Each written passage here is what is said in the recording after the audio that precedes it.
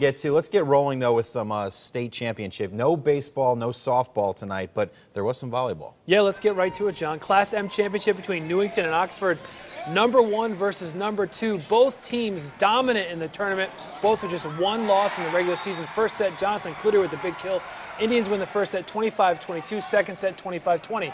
Match point in the third set, back and forth they go. Newington thinks they've won the match, but no, a foot violation is called at the net. the fans rush the floor, but the ref says, whoa, whoa, whoa, whoa.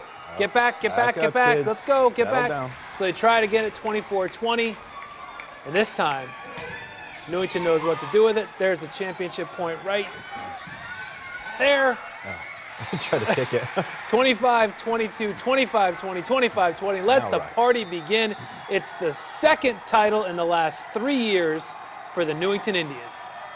Game plan always game plan always coming in It's just to play our game. We, we got to worry what's on our side of the net, and we played our game tonight, and that's all that matters. We uh, fought through adversity, and we played it. We stuck together, and we, we came out with a win. It feels amazing to finally win. We worked hard all season, and it just paid off. We're pretty excited. That's what happens when you work hard every day in practice, and we just did it on the court and won. Now, Newington didn't lose a set in the state tournament. They were 22 and 1 this season. A terrific year in John.